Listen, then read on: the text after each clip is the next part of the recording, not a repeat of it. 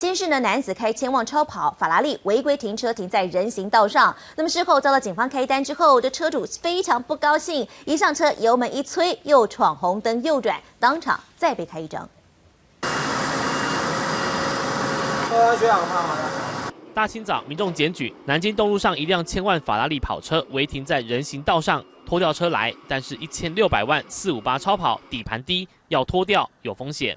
没办法拖了，我公家机关的这个内部太低了，底盘太低了。哦，不能拖，只好先开单。天亮了，这辆消光黑的超跑实在亮眼，吸引许多民众围观。这辆超跑主人为什么把车停在这？